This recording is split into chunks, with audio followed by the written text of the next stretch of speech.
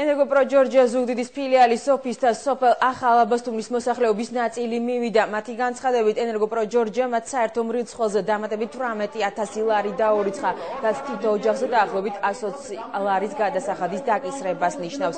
აქციის მონაწილეები ამბობენ, რომ მათთვის გაუგებარია რა თანხა ეს და საკითხის გარკვევას ითხოვენ, თუმცა არც მათთვის და არც ჟურნალისტებისთვის ენერგოპრო ჯორჯიას ხელმძღვანელობას კომენტარი ამ დრომდე არ გაუკეთებია. ხას უმწეო ხას რომელსაც სახელმწიფო აძლევს უმწეობის და რა პურის პული რა არა იმისთვის 50 ლარს ახდე იმას 153 ლარს როგორ გადაახტევინებთ ამის გულისთვის ახლა ჩვენ უშუქოთ ვიქნებით და არც არის პერსპექტივა რომ ამას გადავიხდით ჩვენ და შოქი გვექნება ხალხი არა ვარ კაცო? დარიცხულია თანხა არაკანონიურად 18000 ლარი უფრო კონკრეტულად 17952 ლარი. ესენი გვიხსნიან ამ დარიცხვას, იმით რომ ერთ-ერთი რიცხველის დენის კოჭა იყო გადამწვარი.